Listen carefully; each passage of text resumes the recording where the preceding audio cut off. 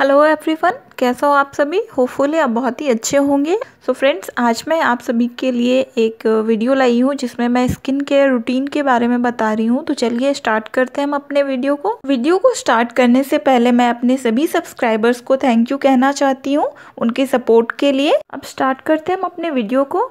Friends इसमें जो मैं स्किन केयर रूटीन बता रही हूँ, वो मैं नॉर्मल ऑयली और ड्राई स्किन तीनों को ध्यान में रखते हुए बता रही हूँ। इस स्किन केयर रूटीन को हम स्टार्ट करेंगे फेस वॉश से। आप जो भी फेस वॉश यूज़ करते हो या फिर कोई भी होम रेमेडी यूज़ करते हो, अपने फेस को वॉश करने के लिए आप उससे अपना फेस वॉश कर ले। उसके बाद अपने चेहरे को एक साफ़ तौलिए से पैड ड्राई कर ले, यानी कि आपको रब नहीं, रगड़ना नहीं है, सिर्फ़ पैड ड्राई करना है। जब आपकी स्किन पूरी तरीके से ड्राई हो जाए, तब आप उसमें टोनर अप्लाई करें। आप रोज वाटर को भी एज ए टोनर यूज़ कर सकते हैं। टोनर अप्लाई करने के बाद उसे उसी तरह पाँच से दस मिनट के लिए ड्राई होने के लिए छोड़ दें।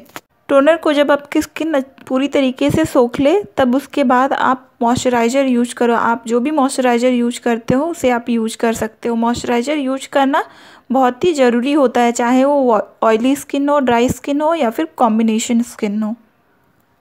इसके बाद कोई अच्छा सा लिप बाम ले और अपने लिप्स पर अप्लाई कर ले। इस प्रोसेस के बाद आप अपना रेगुलर मेकअप जो अप्लाई करते हो, वो आप कर सकते हो। बट ये जो सारी चीज़ें मैंने बताई, ये एक एसेंशियल चीज़ है हेल्दी एंड ग्लोइंग स्किन पाने के लिए। बारी आती है नाइट स्किन केयर आप नाइट में बोलेंगे तो सबसे पहले बारी आती है कि मेकअप को हमें कैसे रिमूव करना है। तो सबसे पहले फ्रेंड्स मैं ये बताना चाहती हूँ कि अगर आपकी स्किन ड्राई है या फिर नॉर्मल स्किन है तो आपके लिए सबसे बेस्ट होगा कोकोनट ऑयल जी हाँ कोकोनट ऑयल के थ्रू आप अपने मेकअप को रिमूव कर सकते हैं। आप उसके लिए प्योर कोकोनट ऑयल लें और उसे अपने स्किन पे रब करें। रब करने के बाद एक क्लीन टिश्यू लेके आप उससे पोछ लें अच्छी तरीके से। फ्रेंड्स आपकी स्किन अगर कॉम्बिनेशन ऑयली या फिर acne prone acne prone means जिनके स्किन में बहुत सारे पिंपल्स आते रहते हैं, वो लोग ऑयल का कोई भी ऑयल का यूज़ ना करें, उससे पिंपल्स की समस्या बहुत ज़्यादा बढ़ जाती है और ऑयली स्किन के लिए भी वो अच्छा नहीं है। उसके लिए आप वेट टिश्यूज मिलते हैं मार्केट में, आप उसे लेके अपना मेकअप रिमूव कर सकते हैं। मेकअप को अच्छी तरीके से रिमूव करने के बाद आप अपना फेवरेट फेस वॉश लेके अपना फेस वॉश कर ले अच्छी तरीके से। उसके बाद आप टोनर अप्लाई कर ले।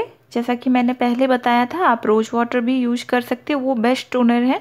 इसके बाद नॉर्मल टू ड्राई स्किन वालों के लिए ये मैं बता रही हूँ कि आप एलमंड ऑयल लें। एलमंड ऑयल से अपना फेस को अच्छी तरीके से मसाज कर ले सर्कुलर मोशन में और फिर दो से तीन मिनट के बाद आप अपने फेस को पानी से सिर्फ़ ऐसे ही धो लें। इसके बाद बारी आती है ऑयली टू कॉम्बिनेशन स्किन वालों के लिए। उनके लिए एलोवेरा जेल है। वो एलोवेरा जेल का इस्तेमाल कर सकते हैं बट आपको कोई भी ऑयल अपने स्किन पे अप्लाई नहीं करना है। इसके बाद बारी आती है हमारी आइज़ की। इसके लिए आप विटामिन ई e की कैप्सूल ले, जो आपको पाँच से दस रुपए में मार्केट में इजीली मिल जाते हैं किसी भी मेडिकल शॉप में। या आप उसकी एक कैप्सूल को लेके अपने अंडर आई एरिया में सर्कुलर मोशन में मसाज करें और उसे रात भर इसी तरीके से छोड़ दें। इससे आपको बहुत सारे फ़ायदे होंगे। सबसे पहला फ़ायदा कि आपके आँखों के आसपास जो भी डार्क सर्कल होंगे, उनसे आपको छुटकारा मिल जाएगा रेगुलर यूज़ से। और आँखों के सामने बहुत हल्के महीन महीन रिंकल्स होते हैं, उनसे भी प्रिवेंट करेगा। इसके बाद सबसे लास्ट स्टेप है, वो है लिप बाम इसके लिए आप पेट्रोलियम जली का यूज़ करें बेस्ट होगा। ये था मेरा स्किन केयर रूटीन तो कैसा लगा आप सभी को? आप कमेंट बॉक्स में ज़रूर बताएँ और आप नेक्स्ट कौन सा वीडियो देख चाहते हो, उसे भी कमेंट बॉक्स के थ्रू बताएँ।